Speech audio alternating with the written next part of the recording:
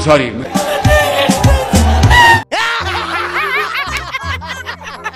दोस्तों, एक बहुत ही पुरानी कहावत है कि अगर लुमड़ी से दिन सीखा जाए तो धीरे धीरे इंसान ये मानने लग जाता है कि मुर्गियाँ चोरी करने के की है। सियासत की भाग दौड़ में शेर अफजल मरवत को लोग भूलते जा रहे हैं। मरवत साहब का कहना है कि जो मुझे भूल जाए, अल्लाह से जरदारी जैसी इज़्ज़त, ओबामा जैसी रंगत, नवाज़ शरीफ जैसा हेयर स्टाइल और चाहत फतेह अली खान जैसी आवाज़ दे। पहले पढ़ने को मिलता था कि इलम हासिल करो, चाहे चीन जाना पड़े। और अब के हालात को देखकर ये कहा जा सकता है, भीख मांगो, चाहे तुम्हें चीन ही क्यों ना जाना पड़े। दोस्तों, बर्तानिया में एक जज सारी ज़िंदगी सिर्फ़ एक ही घर बना पाता है और पाकिस्तानी जज बर्तानिया में चार घर बना लेता है। लगता है कि हमारी करेंसी बर्तानिया से बेहतर है। शेख रशीद साहब कहते हैं कि मेरा और बिल्लो रानी का अंडरग्राउंड सीन अब खत्म हो चुका है। अब तो चार पठान हर वक्त तेल की शीशी लेकर बिल्लो रानी को ढूंढते रहते हैं। ये इस मुल्क में ये क्या हरामीपन हो रहा है? बाबा जी फरमाते हैं कि इनकलाब हमेशा नौजवान ही लाते हैं। लेकिन जिस माशरे के नौजवान चमचागिरी की राह पर चल पड़े, वहाँ इनकलाब नहीं, बल्कि पटवारी ही पैदा होते हैं। पाकिस्तानी कौमी क्रिकेट टीम की खराब गेम को देखकर छोटे चेतन मुल्क से मुखातिब होकर फरमाते हैं कि क्रिकेट तो एक फजूल खेल है, हमारा कौमी खेल तो करप्शन है, और दुनिया की कोई ताकत हमें करप्शन में शिकस्त नहीं दे सकती। जबकि अवाम कहती है कि खिलाड़ियों से क्रिकेट की मजम्मत करवाई जाए और आइंदा ना खेलने की प्रेस कॉन्फ्रेंस भी करवाई जाए। दोस्तों, आज की वीडियो में हम आपको पाकिस्तानी सियासतदानों की बहुत सारी फनी वीडियोस दिखाने वाले हैं। लेकिन इससे पहले आपसे गुजारिश है कि हमारे चैनल को सब्सक्राइब करके इस वीडियो को लाजमी से लाइक कर दें। दोस्तों, छोटे चेतन वो प्रेशर वाले सियासतदान हैं, जिनके एक इशारे से सामने खड़े बंदे की हँसी निकल जाती है। अब जरा उनकी खांसी के दर्शन कीजिए जो सबके छक्के छुड़ा देती है।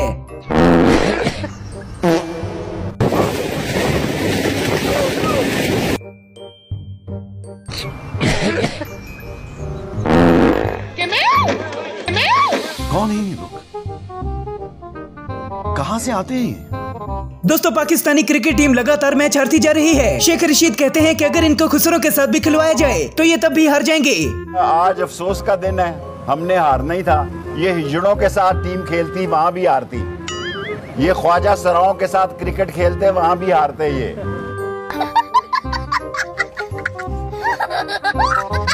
दोस्तों कायद आज़म भी जन्नत में सोचते होंगे कि दुनिया में भी अजीब प्रोग्राम चल रहा है। हर हरा गहरा नथु खैरा खुद को कैद समझ लेता है। ये वीडियो काफ़ी पुरानी है, जहाँ डीजल बाबा लोगों को सौ सौ रुपए देकर खुद को कैद कहलवाते हैं। कायद आपको इशारा कर रहे हैं। मोहतरम, इनको इशारा फरमाएँ। कायद का इशारा हो गया है। आप कहते थे न, कायद इशारा कर। सामने तशरीफ़ लाएँ।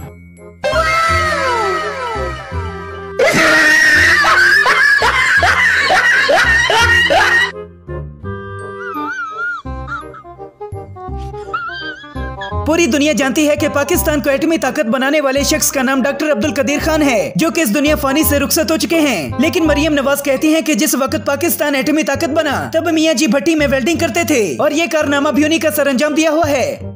पाकिस्तान को एटमी ताकत बनाने का ख्वाब जुल्फिकार अली भुट्टो ने देखा था। जब उन्होंने वो इरादा किया तो इमरान खान बैरून मुल्क अयाशी कर रहा था। और उसके बाद जब नवाज़ शरीफ ने 98 में वो धमाके किए और पाकिस्तान को रहती दुनिया तक अल्लाह ताला के फजलो करम से एटॉमिक पावर बना दिया, एटमी ताकत बना दिया तो तब भी इमरान खान बैरून मुल्क अयाशी कर रहा था। दोस्तों बिलो रानी के बारिश आता है तो पानी आता है के बाद पेशे खिदमत है। मियाँ शोबाज जी का कौमे बनाने का फॉर्मूला। जरा प्यार से मुलाहिजा फरमाएँ। कौमें इस तरह ज़िंदा रह सकती हैं कौमें ज़िंदा रहती हैं वो लड़ती हैं मरती हैं मेहनत करती हैं दयाल पे काम करती हैं आगे बढ़ती हैं बिल्कुल। कौमें इस तरह आगे नहीं बढ़ती। हमें अपने पाँव पे अगर खड़ा हो, होना है तो आईएमएफ का ये आखिरी प्रोग्राम होना चाहिए।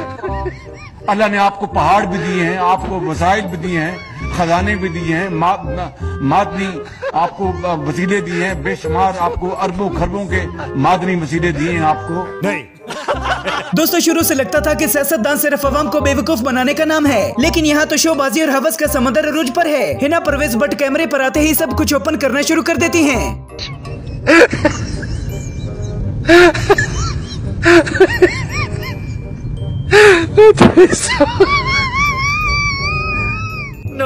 naughty. You teasing me, you naughty, naughty. इस अगली वीडियो को देखकर आपको भी अंदाज़ा हो जाएगा कि पटवारियों में इतने झूठ बोलने की हिम्मत कहाँ से आती है hey, come look at this. President Clinton ने कहा कि हम नवाज़ शरीफ साहब पाँच अरब डॉलर दे रहे हैं आपको पाँच अरब डॉलर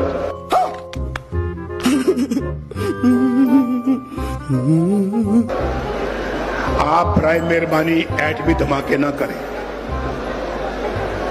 हमारा जमीर खरीदने की कोशिश की गई जमीर दोस्तों छोटे चेतन और उनके बाशिंदे जहाँ भी जाते हैं उनकी नज़रें ऊपर नीचे चलती रहती हैं। पता नहीं ये कैमरों से बचकर लोगों की जेब काटते हैं या फिर इन्हें मौत का फरिश्ता नज़र आता है। देखिए अभी जो मशीन ये जापान की मशीन आई और मैंने कल एक बहुत अच्छा ईमानदार ये ब्यूरोक्रेट है सरकारी अफसर और और दिल में आवाम का दिल दर्द रखता है। मुझसे मेरे साथ उन्होंने बतौर डिप्टी कमिश्नर एक होता है सफ़ेद झूठ फिर आता है वो झूठ जो मौलाना फजल शरीफ अवाम से बोलते हैं जिस पर इंसान यकीन नहीं करता लेकिन जानवर ज़रूर करता है। पाँच छह साल पहले गालिबन मैं बन्नू में था रात में सोया हुआ था तो मैं ख्वाब देख रहा हूँ कि हज़रत आदम सलाम से चून के बात कर रहा हूँ? और हज़रत आदम सलाम मुझे फरमाते हैं तुम क्या चाहते हो? मैंने कहा अमन चाहता हूँ। उसके बाद कुछ भी कुछ भी। परवेज इलाही भी शहबाज शरीफ साहब की हजामत करने में अव्वल कदम नज़र आते हैं। अब इस वीडियो में आप खुद ही देखिए।